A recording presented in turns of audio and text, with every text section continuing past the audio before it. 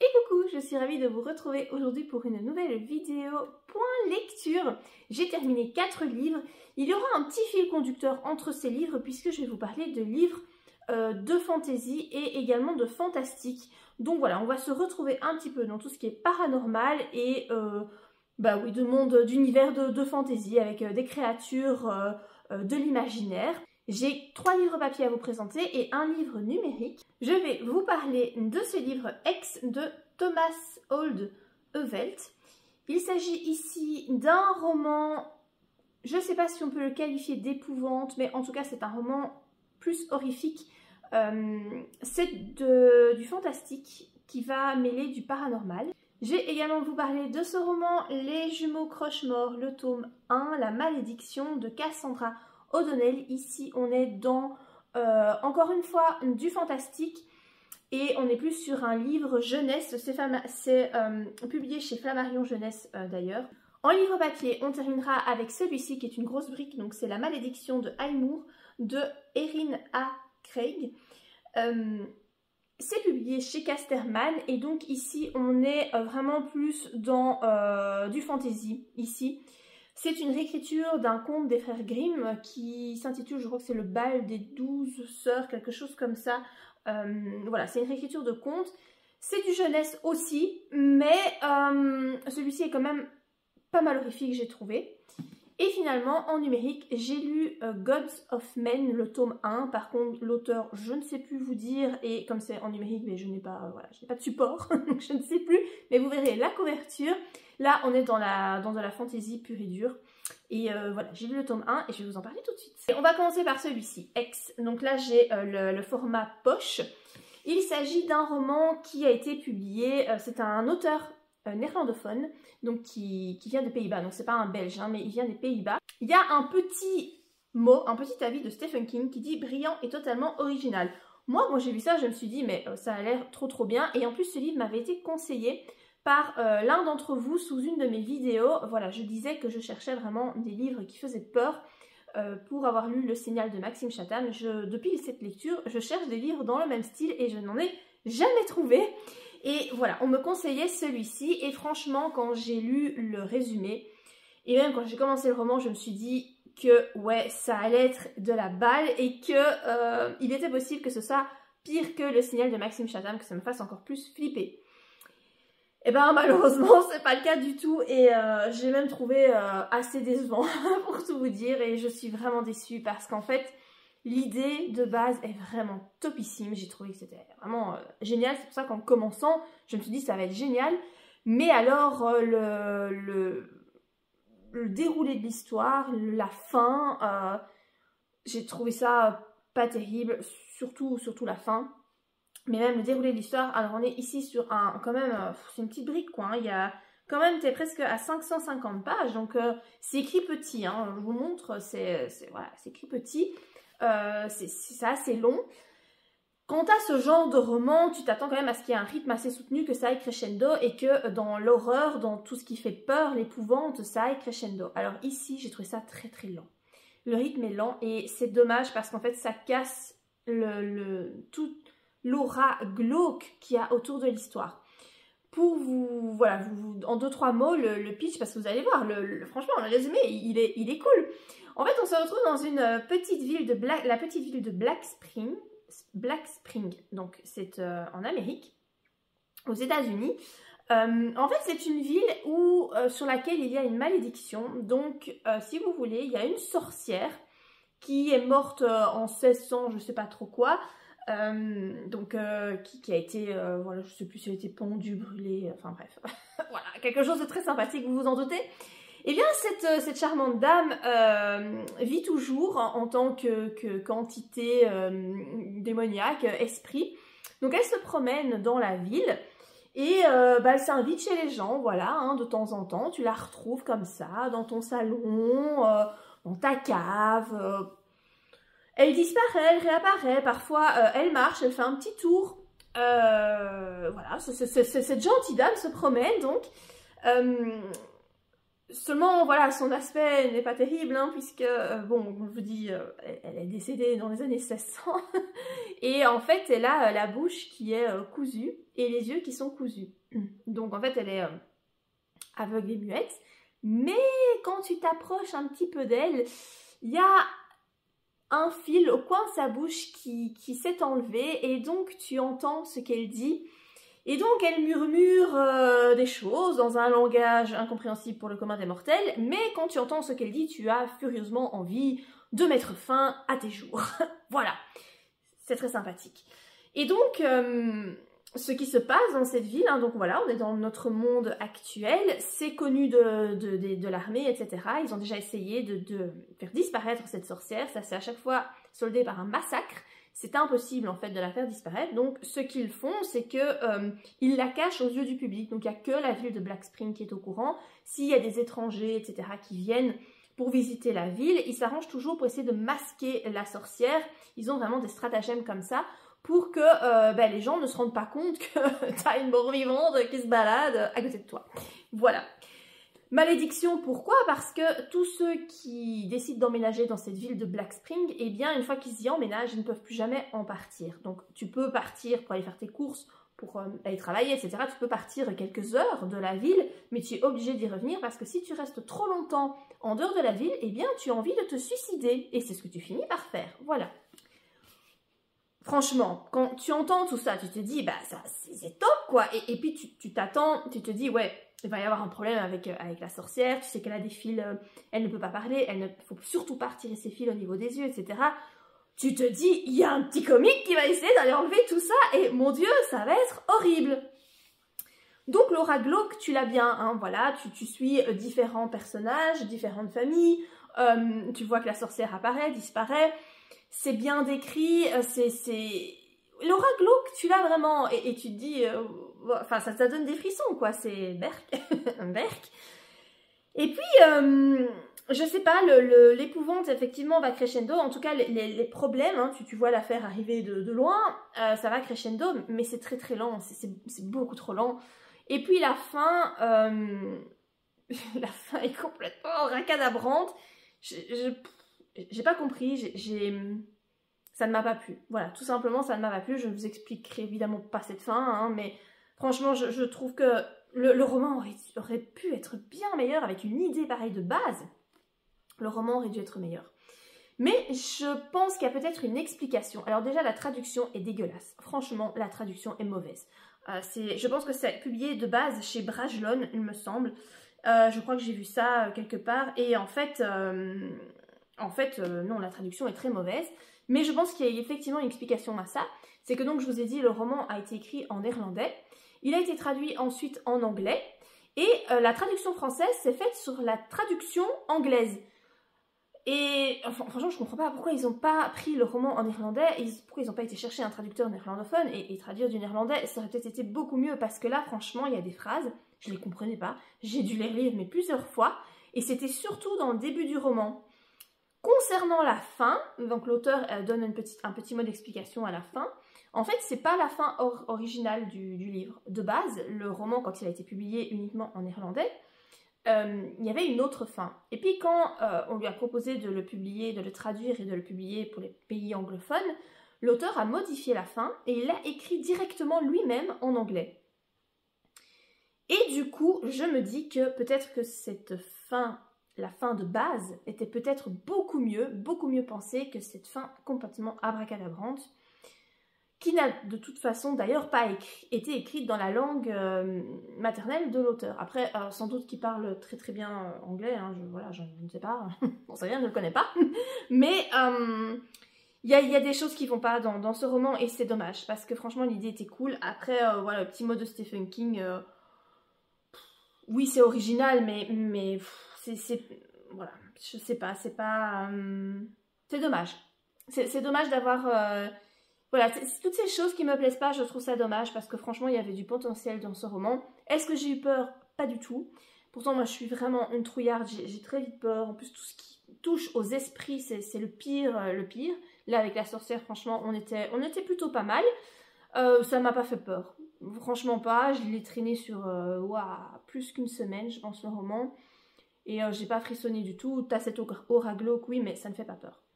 Donc voilà par rapport à ce roman. Si vous avez envie de vous faire vraiment peur, celui-là, non, je ne vous conseille pas. Il n'est pas plus flippant que ça. Et, voilà, je trouve un peu, un peu bâclé. Je sais pas, je ne suis pas totalement convaincue.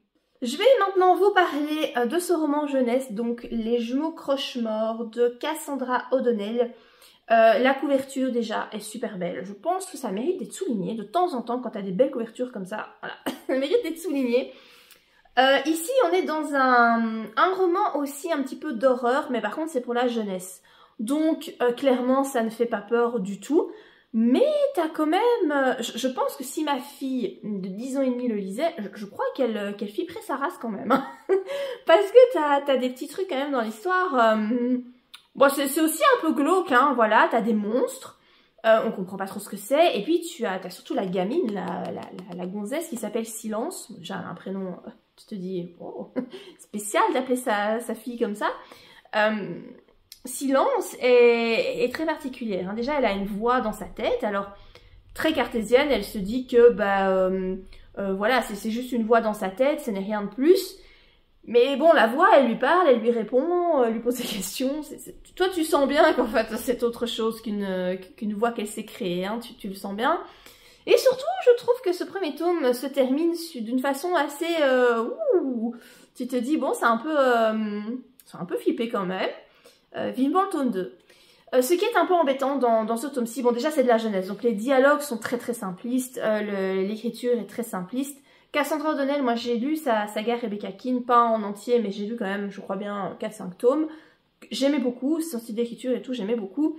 Bon là on a un niveau en dessous quoi, tu vois bien que c'est pas adressé à des adultes, ça se lit très facilement tout de même, c'est, voilà, disons qu'il faut le savoir en commençant ta lecture que c'est pour, pour un jeune public.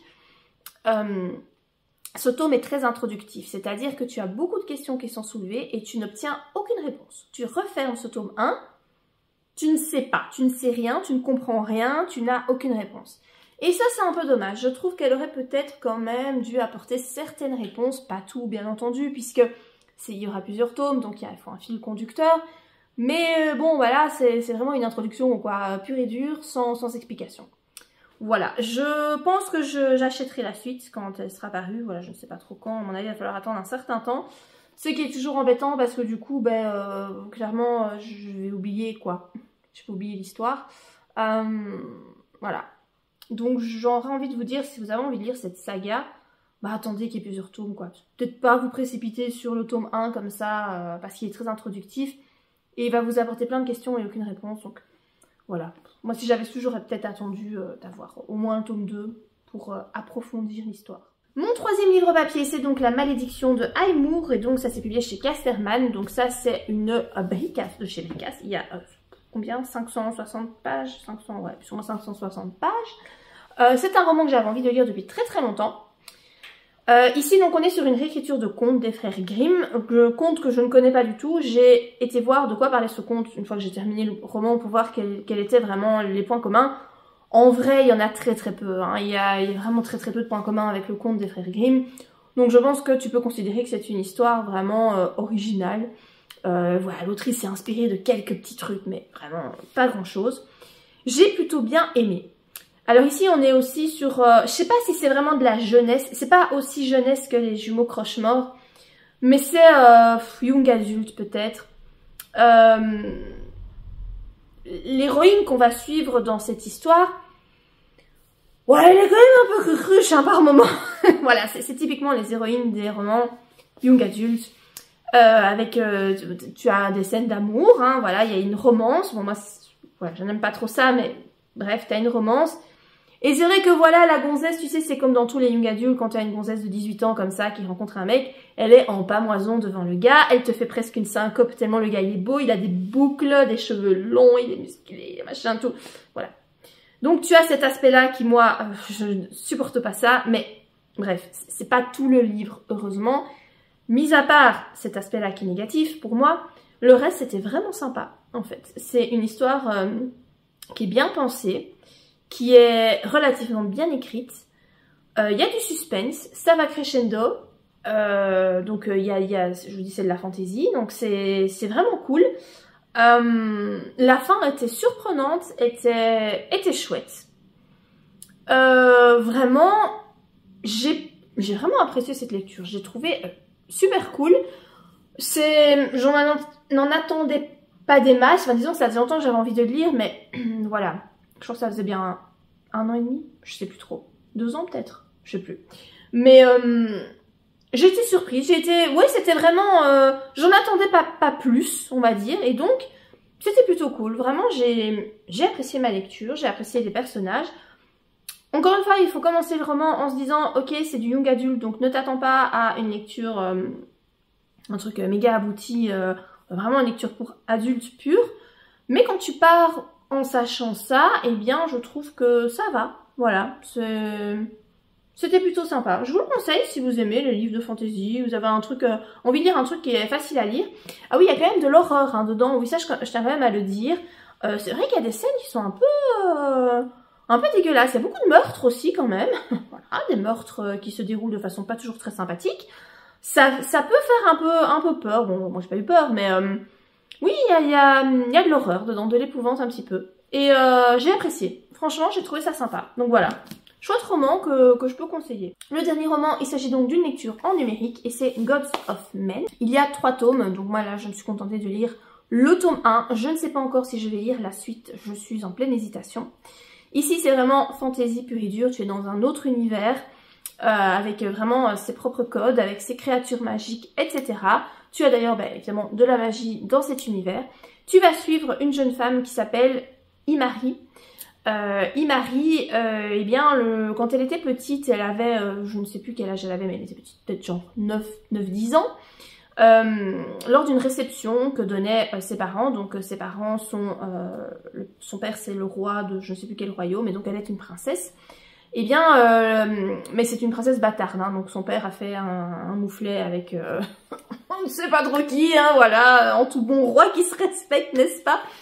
Et, euh, et, donc, cette petite Imari joue de la flûte de façon très très...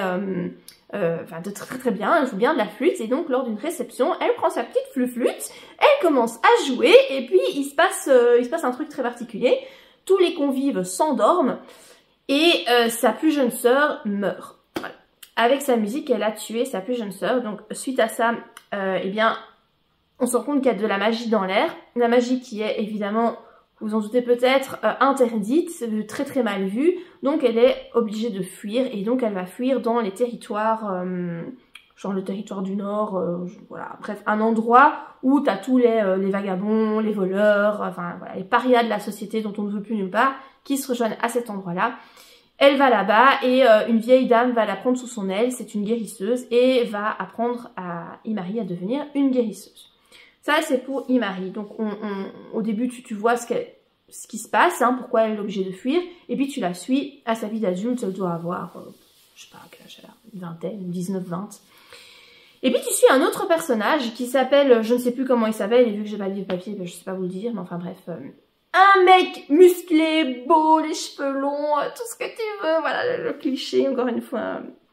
Voilà, mais heureusement Imari n'est pas trop en pamoison de lui, alors tu vois bien que ça la titille un peu quand elle voit le gars, elle se dit quand même, ah, celui-là, il est pas mal, mais ça va, hein, elle est pas non plus en train d'agoniser euh, devant le gars. Euh, et donc ce, ce, gars-là, c'est aussi un prince autre, d'un autre endroit. Euh, on le surnomme le loup parce qu'il est très, euh, voilà, il est très dangereux, évidemment, parce que, donc il est très beau, il est très musclé, mais en plus il tue, il est dangereux, il est super fort, il a vraiment tout, tout ce qu'il faut, hein, tout ce qu'il faut. Sauf que c'est quand même un meurtrier qui a tué euh, des milliers de, personnes. Et en fait, son papa, à cet homme-là, donc le roi, est très très malade, et son frère aîné, donc qui doit hériter du royaume, envoie donc ce gars-là pour retrouver une certaine guérisseuse, hein, qui est donc notre Imari, euh, parce que apparemment elle, a une réputation pour euh, et donc euh, voilà, il l'envoie la chercher pour qu'elle vienne guérir leur papa. Alors toi tu sens bien le truc arriver, tu te dis oui il l'envoie chercher, mais il y a des guérisseurs, il y en a partout. Hein, Imari il est pas plus doué qu'une autre. enfin voilà bref. Mais le frère Niveau intelligence, on ne sait pas trop. Voilà, on sait qu'il, physiquement, il a tout ce qu'il faut où il faut, mais dans la tête, on ne sait pas trop. Lui ne se pose pas plus de questions que ça et il va euh, chercher euh, Imari. Et puis euh, voilà, il se passe toute une série de choses. Tu as euh, de la magie, tu as des espèces de... de c'est pas des démons, mais c'est des, entités euh, très très moches. tu as évidemment un rapprochement entre Imari et donc notre gaillard là. J'ai trouvé ça en globalité assez chouette. Franchement, c'était bien écrit. C'était pas neuneux. Hein, voilà, moi je vous dis sur ton plaisanterie par rapport à la romance. Mais ça va, hein, c'est pas une romance trop trop neuneux. Hein, franchement, ça va. Euh, c'était plutôt sympa. Après, euh, c'est vrai que moi, question fantasy, c'est... Voilà, j'en lis pas des masses, hein. là c'est parce que vraiment c'était la saison qui s'y prêtait avec euh, le, mois d'octobre en général, j'aime bien lire un peu de fantasy. C'est pas mon genre de prédilection, donc du coup j'ai un peu du mal à me dire que je vais enchaîner avec le tome 2. mais pour autant, franchement, le déroulé de l'histoire était vraiment bien, la fin du tome 1 était chouette. Ça donne quand même envie de lire la suite. Voilà, je suis en, je, je, me tâte, je, sais pas trop. Mais sinon, c'était franchement, c'était un roman euh, assez sympa. C'est pas le meilleur roman de fantasy que j'ai lu. On va dire qu'il ne révolutionne rien. Hein. C'est toujours plus ou moins la même chose. Euh, voilà, c'est ça, ça révolutionne rien, mais c'était bien écrit, c'était agréable à lire. Voilà, il y a mieux, il y a mieux. C'est pour ça que j'hésite à lire, à continuer. Je, je, ne sais pas trop en fait, parce que je sais très bien qu'il y a mieux. Et que si j'ai envie de lire de la fantasy, ce qui arrive rarement, peut-être que je ferais mieux de me tourner vers quelque chose de vraiment très très bon, plutôt que ça qui est passable, mais pas révolutionnaire. Donc voilà, je, je ne sais pas trop. Je suis en pleine, encore en pleine hésitation. Voilà par rapport à ces quatre lectures. J'espère que la vidéo vous a plu. Comme d'habitude, si vous avez lu ces romans, n'hésitez pas à me donner votre avis en commentaire. Et moi je vous dis à bientôt pour de prochaines vidéos. Bye